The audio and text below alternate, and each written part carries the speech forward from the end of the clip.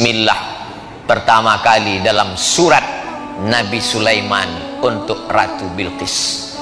Innahu min Sulaiman.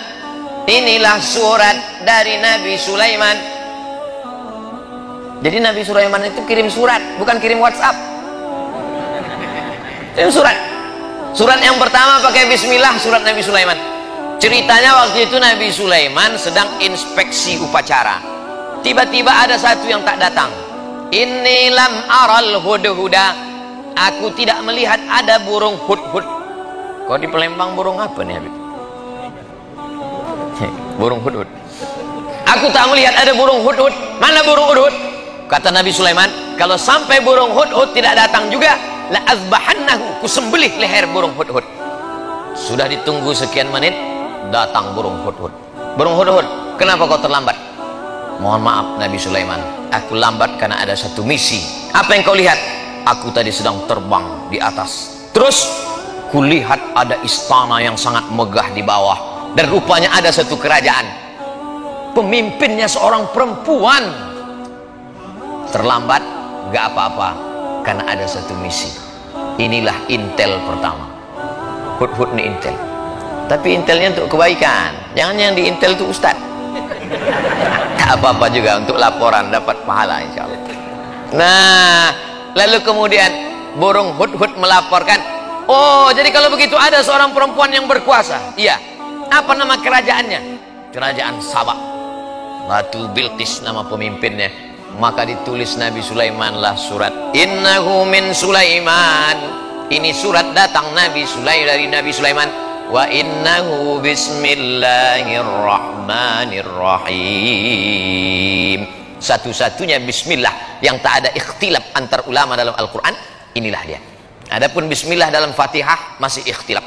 Menurut mazhab Hanafi Syafi'i Hambali bismillah dalam Al-Fatihah itu ayat satu. Tapi menurut mazhab Maliki ayat satunya adalah Alhamdulillahi Rabbil Alamin. Makanya Quran cetakan Maroko coba lihat. Bismillahirrahmanirrahim. Tak ada angka satu. Karena menurut orang Maroko mazhab Maliki Alhamdulillahirrahmanirrahim itu yang angka satu. Adapun Bismillah yang di setiap awal surat Bismillahirrahmanirrahim Qul huwallahu ahad. Bismillahirrahmanirrahim Qul a'udzu birabbil falaq. Bismillahirrahmanirrahim Qul a'udzu birabbin nas. Bukan bagian dari surat tapi pemisah antara surat. Supaya ada pemisah-pemisahnya itulah dia. Bismillahirrahmanirrahim tapi yang ini tak ada ikhtilaf bahwa dia bagian dari surat. Wa innahu bismillahirrahmanirrahim. Dengan nama Allah yang maha penyayang. Apa beda Rahman dengan Rahim? Abdurrahman Abdurrahim. Baitur Rahman Baitur Rahim Darul Rahman Darul Rahim Rahman semua orang dapat. Yang tak sholat dapat. Yang tak puasa dapat. Yang tak peduli tahun baru hijrah dapat. Karena Allah itu maha kasih dan sayang tapi yang rahim yang dapat hanya orang beriman saja. Allah membagikan nikmat barokah itu macam menaburkan beras di waktu pagi. Ketika orang beternak ayam dia taburkan beras di waktu pagi semua ayam dapat. Ayam baik dapat ayam jahat pun dapat. Begitulah Rahman ditebarkan Allah. Yang puasa dapat yang tak puasa dapat. Yang sholat subuh dapat yang tak sholat subuh pun dapat. Jadi jangan kita iri saya ini Pak Ustadz rajin sholat berjamaah kenapa tak dapat? Eh dia nggak sholat maka dapat. Rahman. Tapi tak semuanya dapat Rahim. Makanya disebutkan wafuran rahima. Karena yang dapatkan ampunan itu hanya orang yang mendapatkan Rahim dari Allah subhanahu wa ta'ala. Ana Rahman kata Allah. Aku ni Rahman. Syakaktu Rahim min ismi. Rahim. Maaf maaf beribu maaf. Rahim kantong janin dalam perut perempuan itu diciptakan dari asmaul husna.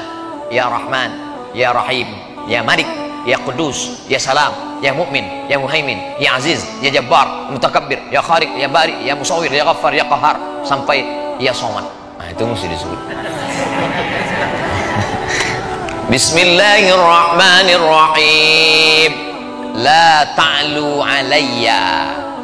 Hai kerajaan Bilqis wahai ratu biskis raja sabah la ta'lu alayya jangan kau lebih tinggi daripada aku. Akhirnya menyerahlah Bilqis karena dikatakan jangan kau lebih tinggi daripada aku. Kalau begitu aku datang.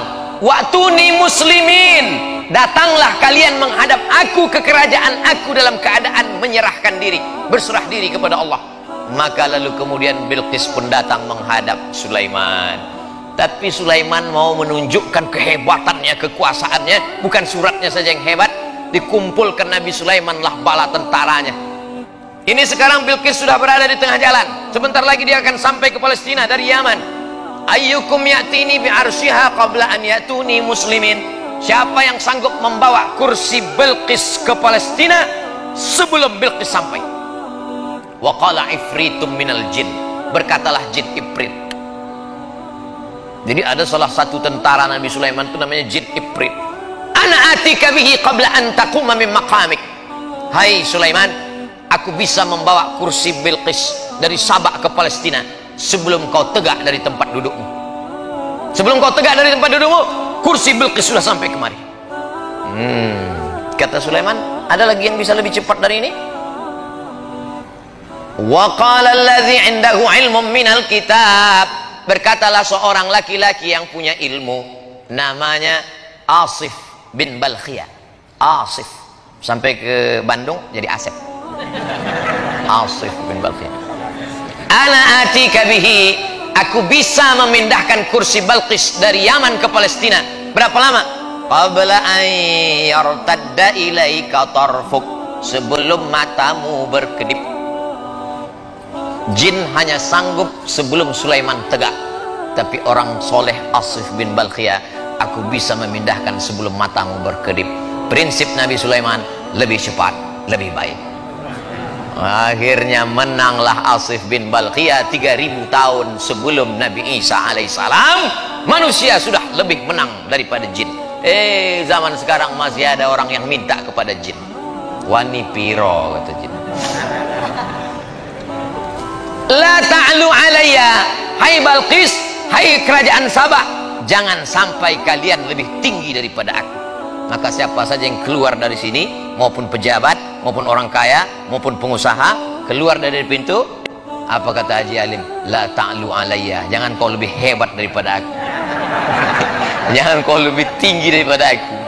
Waktu ni muslimin. Datang kau sekali lagi kemari dalam keadaan menyerahkan diri maksudnya jangan kau lebih tinggi daripada aku. Kepeduliannya kepada fakir miskin. Kepedulian kepada masjid. Kepedulian kepada orang tua. Ustadz-ustadz yang disantuni Haji Alim meninggal.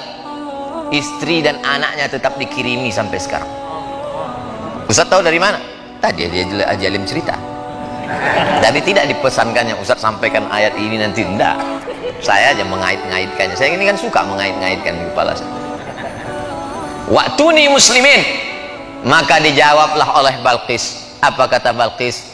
Kami bersama Sulaiman dan kami berserah diri kepada Allah. Itulah yang kita katakan dalam sholat kita tadi. Hanifan musliman. Kami condong kepada kebenaran dan kami berserah diri kepada Allah. Wa ma ana minal musyrikin. Aku tidak berserah kepada selain Allah. Tapi biar dimuliakan Allah subhanahu wa ta'ala maka di tahun baru hijrah ini sudah kita awali dengan yang baik-baik. Di akhir tahun kita baca doa berzikir solawat solat maghrib. Habis solat maghrib zikir lagi baca doa awal tahun. Habis itu kemudian pengajian. Nanti solat isya habis itu jangan dinodai dengan yang kotor-kotor pakai baju putih. Datang kemari sebelum ke sini mandi bersih pakai baju putih. Andai tertumpah satu tetes kopi tak mungkin saya berani datang kemari. Malu menghadapi manusia. Bagaimana menghadap Allah dengan yang kotor-kotor? Oleh sebab itu maka kalau pakai baju putih nampak cepat kotornya. Orang yang sudah berserah diri kepada Allah jangan lagi dikotori dengan maksiat dan dosa. Makanya dari satu solat ke satu solat mensucikan. Al jum'atu ilal jum'ah satu pekan tujuh hari mensucikan. Ramadan ila Ramadan satu tahun mensucikan. Al umratu ilal umrati satu umrah ke umrah berikutnya. Kafaratul lima bainahuma mensucikan membersihkan kita dari segala silap salah dan dosa. Andai umur kita besok pagi sempat mencicipi siang satu Muharram Alhamdulillah. Andai tak sampai Cemana lagi tak mungkin bisa kita tambah. Umur ini kan bukan isi ulang. Kalau sudah sampai masanya la yastakhiruna sa'atan wa la yastaqdimun.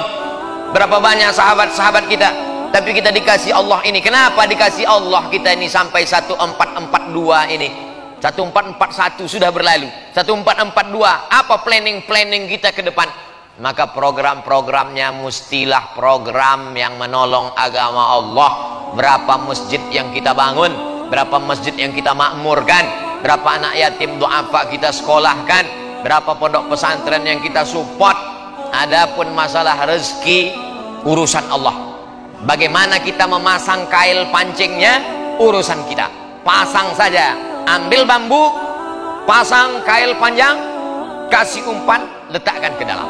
Ikan apa yang datang? Itu urusan Allah. Dipasang 10 kail 10 sepuluhnya hilang sama cacing-cacingnya sekalian usnuzon boleh jadi Allah mau kasih kita ikan masak.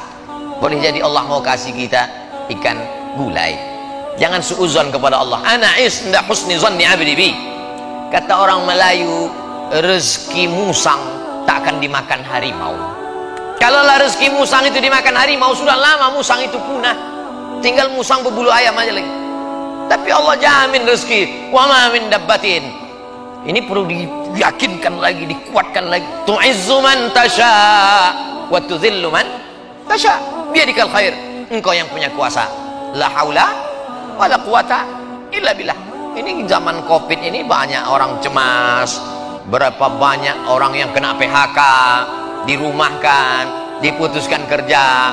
Imannya turun imannya turun imunnya down masuk penyakit maka tak ada makin kacau. Dunia tak dapat akhirat tak dapat. Sedangkan kita yang selalu kita minta Rabbana atina fid dunya hasanah wa fil akhirati hasanah wa qina adzaban nar maka dengan berjumpa dengan para habaib dengan para ulama dengan orang-orang baik ini bangkit semangat kita sehat tetap dengan ikut protokol kesehatan.